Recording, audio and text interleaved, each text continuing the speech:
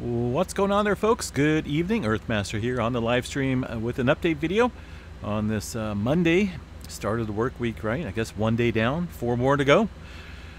July 26, 2021, 7:20 p.m. West Coast time, California, um, where we got a 2.5 earthquake as the latest quake on the globe.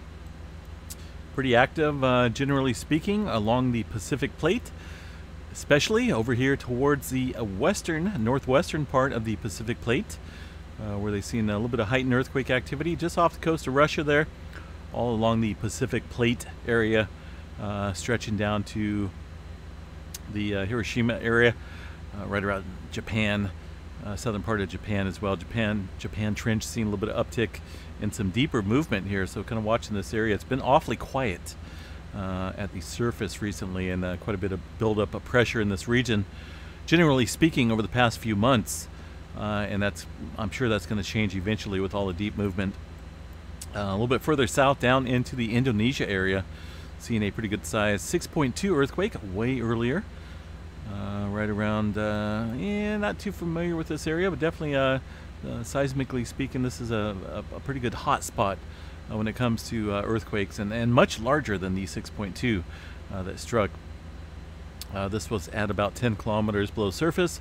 Looks like there was a, a little forequake, main shaker, and then a, a, little aftershock there, 4.8 all roughly uh, well 10 18 5 kilometers a little bit of difference there so uh, a little bit of a little bit of movement taking place down there in Indonesia the Fiji area still seen. man, check this out. Look at this. Good Lord. 618 kilometers for, woo, for that 4.5. Oh man, it's not a major earthquake, but man, there's something going on down there. It's always, I mean, it's, it's deep. I'm gonna have to look up one of these days what the deepest earthquake is. I think it's 670 or 680, somewhere around there. But, uh, you know, it's not too often we see 618. It just doesn't happen all the time. We see a lot of 500s in the KM range, uh, and that's what we've been seeing seeing over the past couple weeks here in this region. But uh, looking at the scale today, quite a bit of deep movement into the uh, uh Tonga Trench, Kermadec Trench area. New Zealand looking pretty quiet down here for the most part, according to the USGS, uh, with a 4.0 threshold. Also, let's see over here towards the west, a little bit of movement in uh, Tajikistan area. 4.3, some deep movement up there as well. A little bit of activity stretching over to Greece, but uh, overall pretty quiet, generally quiet, uh, speaking terms there uh, in that region. Uh, down here in the uh, Middle America Trench, some deeper movement as well. 4.6, striking just off the coast at 39 kilometers and some movement down here near uh, Panama 4.6 South America uh, I think they're getting in on some of the deep action as well. Inland down dip downstream of the Peru Chile Trench a pair of earthquakes. Pretty deep 242 kilometers for the 4.3 and 181 uh, for the 4.2 a little bit of surface quaking taking place up here uh, or down here I should say near Santiago uh, Chile area uh, 31 kilometers for a 4.9. Kind of up there around the uh, subduction zone of that region. North America area, um, as far as 2.5 goes, 2.5 and above, not a whole lot going on, right? You can see these uh, couple quakes here indicating the 2.5 threshold. We'll swing up the all magnitudes and uh, get a better a view of what's going on here. We've seen some movement around the Garlock fault structure, not uh, not specifically on it. Maybe well, maybe that one is. Uh, but we're seeing kind of a line of activity here stretching across it. Uh, 3.2 was it looks kind of like the main quake down there around the Tehachapi area, shaking things up out in the uh, Mojave, Mojave Desert uh, with this line of earthquake activity. Not for sure if these have been reviewed or not. Go ahead and check this out. Automatic, so very possible that these earthquakes here were triggered uh, falsely by this uh, 3.2. So keep an eye on that, see if they uh, disappear or not. Uh, Southern California region, San Jacinto fault area, pretty active with some microquakes. And on the North American plate side, uh, just off the San Andreas Fault, the southern end here, getting a, a cluster of quakes out here. Uh, nothing major, but some deeper movement. Uh, there's deeper movement over here on the west, but um, quite a few microquakes taking place here in this general area. A little swarm of activity here and, and down there. And uh, also over here, it looks like, like uh, near the Cottonwood Basin area. Don't see any specifically named faults out there, but uh, nonetheless, there's some earthquake activity ramping up. Uh, what else we got here? Northern California. Of course, the Antelope Valley area is still seeing some uh, aftershock activity.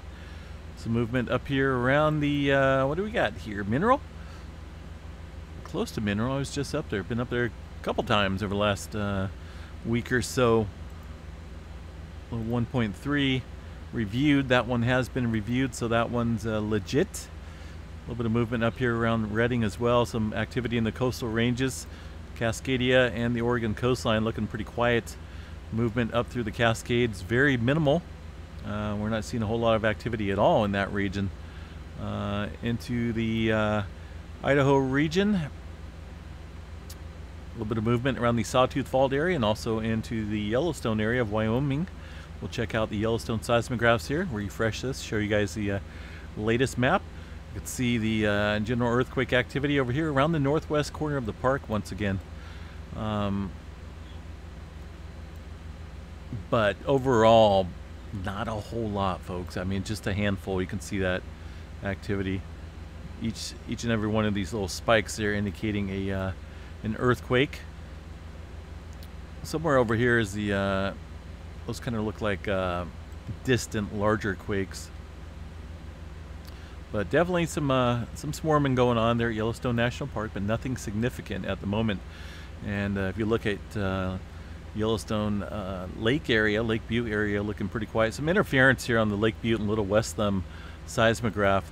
Uh, just not for sure what's going on there, but it's out of it's way it's whacked out. it doesn't look good. Uh, but no earthquake activity, just some type of adjustment, it looks like, or some type of uh, malfunction, so to speak. But that also showed up on Little West Thumb. If this was uh, any type of significant uh, movement in the ground or underneath the ground, we'd see this uh, showing up significantly on all these other stations. But it's only these two select stations, and they look identical, which tells me that it's network interference being picked up there. Uh, what else we got here, folks? I was checking out some. Uh, let's go over here to the. Uh, uh let's see here, PNSN network. I was checking out some of the seismograph stations up in uh, up in Washington and Oregon. The PNSN.org network has uh, quite a bit of a selection of seismographs. Um, you can pretty much view all the data from the stations. You know, if they're not reporting earthquakes up here, uh, and you go to a specific seismograph station and, and there's no earthquakes that you can tell, then, uh, then the USGS, I guess, is doing their job because there's no earth earthquakes to report. Um, so uh, I'd like to look at the general activity over the last um, couple days or so, see if they've been accurately reporting stuff. And so far, it looks pretty good, at least as far as the stations that I've looked at. Um, you can look at all sorts of regions through the PNSN network. Um, quite a bit of quite a bit of act, uh, station information to check out up there. And you can also do the same thing at the uh, uh, in California. California's got uh, quite a list of. This is just just a small amount of seismograph stations. Like you can check out the. Uh, oh, let's see here. We'll go to over here along the coastline and look at uh, information. This here is over the last 24 hours of uh, data coming into this seismograph station. looks like Cahto Peak KCPB HHZ station. Uh, this specific earthquake is going to be that, uh, well, this is the last 24 hours. Uh, I'm pretty certain that is that, let's see here. That's got to be the 2.6 earthquake right there. 0822 UTC time. Uh, so we go over here 08 0815 0822 So there's that earthquake there that was reported from the USGS. And you can go back uh, the day before and see uh, uh, further activity. I think that was at 3 point, I think there was a 3.4 uh, to the west of me over in, in, the coast range there near Alder Springs. Uh, that, that got picked up as well. So overall, looking at these seismographs, very quiet. They're amplified pretty pretty nicely, so you can see if there's any type of swarming, any type of uh, even super microquake earthquake activity. It's just not showing up because uh, you can see how well defined it'll pick up uh, uh, these other earthquakes. You know, in, in the uh, two range, picks them up pretty nicely. Uh, let's see, what do we got here for tremor map? Um, look at this, a different, different type of setup tonight or at least over the last 24 hours. Got about 20 epicenters around the Seattle area, right underneath the Seattle fault system here.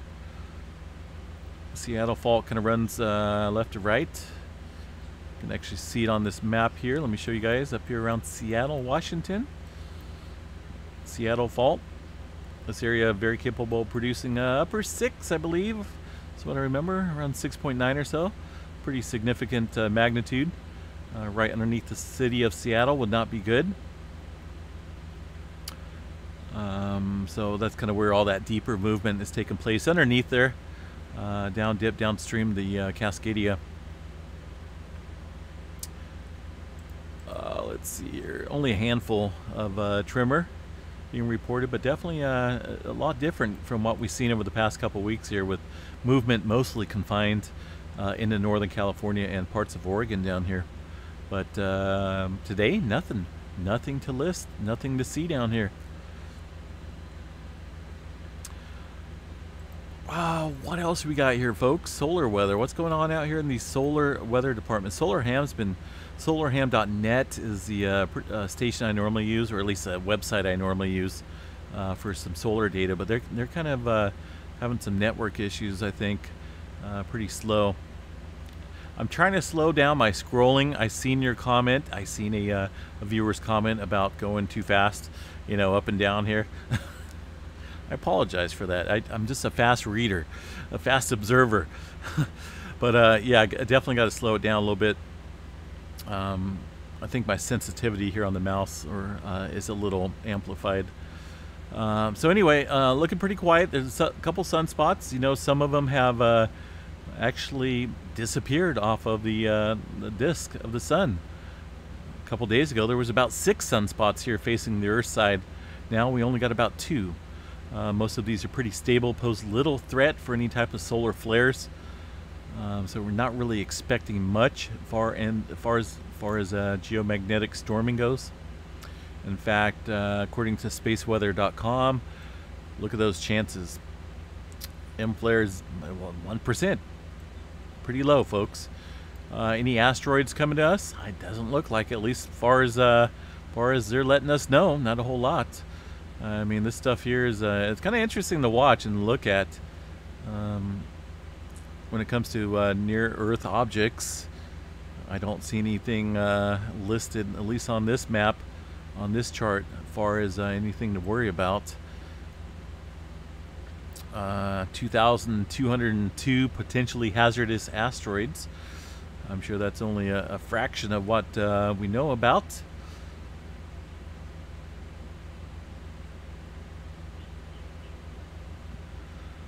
So yeah, just uh, I, would like to see if I can pull up the SolarHam website here. It's just they've been having some issues and just I can't access the server for some reason. It just keeps there and keeps on buffering and I just can't access it. Alrighty, I'm surprised we, uh, kind of a major delay there. Okie dokie. Uh, let's see here. What do these guys have to say? Not a whole lot. Definitely not a whole lot. Pretty uh, significantly quiet is the word. So, alright folks. Um, I'm going to jump off here. Still kind of feeling the after effects of breathing in all that smoke yesterday. But uh, I'll recover. I will survive. And uh, we got a whole bunch of uh, monsoonal moisture coming in from the south, creating uh, some thunderstorms up in the mountains. Um, getting a little bit of rainfall as well. That's good, right? We need the rain here in California, but uh, with any thunderstorms here, you know, there's always that, that lightning, cloud to ground lightning uh, can spark up new fires, even with some rain falling down. Uh, and that's uh, that's not what we need here in California. Trust me, we got some wind picking up too out of the south.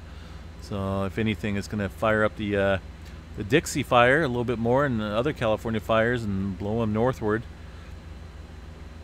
So hopefully we get hopefully we get a whole lot of rain and uh, less lightning. As much as I love lightning and thunder, it just uh, I don't want to see anything else catch fire out here. It's just not good. Not going to be nothing left here in California. All right, folks, have a good night. Uh, I did reset the stream earlier today. Everything's good. Uh, that was a self reset. And uh, moving forward, we should be good to go. Have a good night, everyone. Stay safe. I'm going to go get dinner started on the barbecue. And uh, I'm just going to kick back, relax a little bit, enjoy the evening. Have a good night, everyone. Peace out.